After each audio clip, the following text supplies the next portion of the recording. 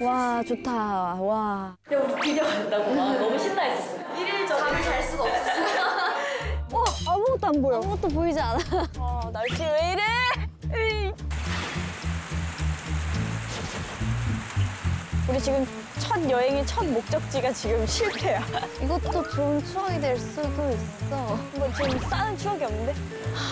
근데 여행은 항상 어떻게 될지 모르는 게 여행인 것 같아.